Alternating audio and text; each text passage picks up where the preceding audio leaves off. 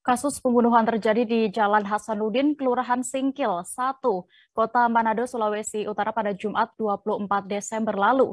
Saat ini pelaku dikabarkan sudah diamankan oleh pihak kepolisian. Informasi yang didapat, aksi pelaku ternyata hanya dilatar belakangi persoalan sepele. Dan kabar selengkapnya dan juga update terkini kasus ini akan disampaikan Fistel Mukuan, jurnalis Tribun Manado yang kini sudah terhubung bersama kami. Halo rekan Fistel. Halo rekan Dea, selamat siang. Selamat siang, Fistel. Bisa Anda informasikan untuk pantauan di lokasi kejadian saat ini dan juga bagaimana perkembangan kasusnya? Ya, makasih rekan Dea. E, dari hasil pantauan kami di lokasi kejadian memang di sini saat kami tiba di lokasi sudah dikerumuni oleh banyak warga. Tapi untuk korban dan pelaku sudah tidak ada di lokasi kejadian saat kami eh, ke lokasi kejadian. Namun untuk lokasi kejadian yaitu di Barber masih banyak darah yang berceceran di eh, lantai. Sehingga tidak ada orang yang berani masuk tapi ada salah satu eh, bapak yang memberanikan diri karena eh, itu adalah tempat kerja. Tempat kerja dari eh, pemilik barber ini. Sehingga ia memberanikan diri untuk menyiram darah yang sudah uh, berceceran di lantai. Dan informasi yang kami dapatkan hanya satu kali tusukan yang membuat korban meninggal dunia di kejadian. Dan uh, ternyata untuk korban sudah dibawa ke uh, Rumah Sakit Bayangkara di Kota Manado. Dan untuk pelaku sudah langsung diamankan oleh Polsek Tuminting dan sudah diamankan di Polresta Manado. Demikian. Ya, Vestal bisa Anda informasikan apa yang dikatakan oleh orang tua dari pemilik barber di lokasi kejadian ini? Ya, ketika kamu kami temui di lokasi kejadian, orang tua dari pemilik barber sampaikan menurut saksi menyampaikan kepada dirinya bahwa saat itu korban sedang duduk mengantri untuk melakukan potong rambut tiba-tiba datanglah ini pelaku dan menyenggol menyenggol kaki dari korban yang sedang duduk sedang duduk mengantri.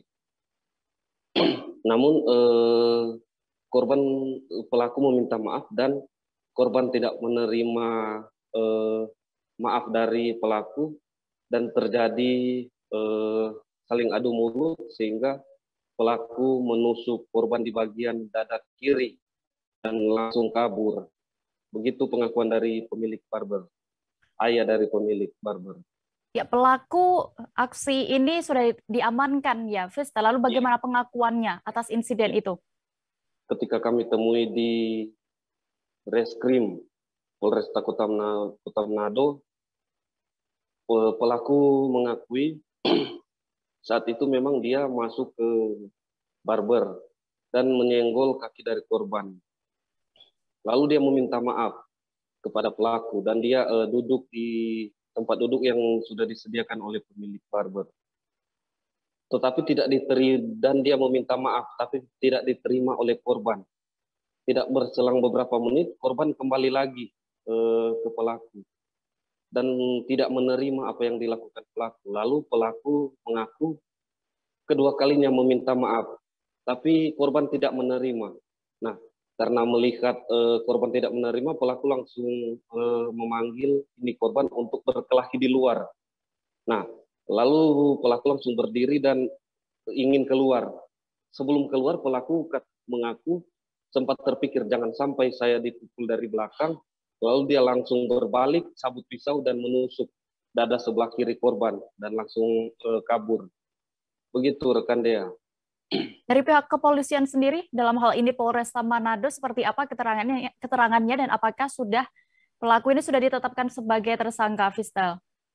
Ya, pelaku dari Kasat Reskrim Polresta Manado menyampaikan pelaku sudah ditetapkan sebagai tersangka dan dari pengakuan dari hasil lidik mereka eh, tidak ada eh, namanya perminta maafan. Memang setelah masuk terjadi senggolan dan langsung terjadi uh, adu mulut. Saat terjadi adu mulut, pelaku langsung menikam dada sebelah kiri korban dan uh, dinyatakan meninggal dunia. tapi dari hasil pantauan kami dari uh, Facebook kedua baik pelaku dan korban ini diketahui mereka uh, uh, ada apa bisa berkenalan, saling kenal, bukan uh, karena tidak mengenal, tapi mereka ini adalah saling mengenal karena mereka tinggal di uh, kelurahan yang berbatasan. Jadi mereka adalah uh, warga yang saling mengenal. Tapi untuk kejadian ini, sebagaimana informasi yang kami dapatkan hanya uh, berawal dari senggolan kaki. Demikian rekan Dea. Baik, Tribuners terkait hal ini rekan Fisdan sudah melakukan wawancara bersama orang tua pemilik barber, ada Hidayat, berikut liputan lengkapnya. Informasi awal itu dari saya dari saksi. Saksi ya, saksi ya. sampaikan gimana? Saksi sampaikan waktu apa dia, yang tersangka ini masuk ke dalam barber, datang masuk ke dalam barber, nah, menyenggol yang si korban. Oh korban sudah di dalam ya? Korban sudah dulu di dalam. Baru tersangka masuk. Eh, Menyenggolnya bagaimana? Ya, di kaki. Ka oh kaki itu saat duduk ya? Ya lalu? Lalu ini kaki ini ke iya. saksi. Iya. Dia, iya. Nah, jadi dia dia jengol, dia minta maaf kepada korban. Yang oh, iya. Iya. Oh, dia salah. Ini saksi yang bilang. Iya iya.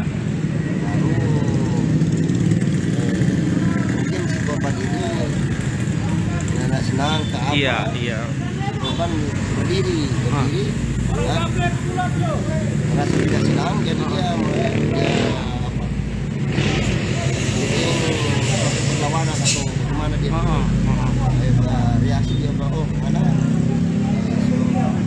so, mengaku di Sumabu iya. Korbannya bersuara begitu. Ini saya dengar. Iya saksi keterangan saksi ya. iya. jadi itulah mulai jadi mulai cekcok ya lalu terjadi jadi, kejadian ini. Oke kira-kira dua-dua itu pelaku dan korban itu orang mana? Warga mana? Kalau dengar pelaku memang pelaku orang sini Sindulang oh, kalau korban? Korban dengar orang Bailang info awal ya orang Bailang oke. Tapi laki-laki dua-dua ya? Laki-laki dua-dua ini boleh beberapa jam yang lalu kira-kira jam-jam jam 12 ya? Iya. Oke, ini di lebih tepatnya Jalan Hasanuddin. Iya. Eh, jalan apa? Teh Hasanuddin Singkil ya, Kelurahan Singkil, Kecamatan Singkil. Terima kasih sudah nonton. Jangan lupa like, subscribe, dan share ya.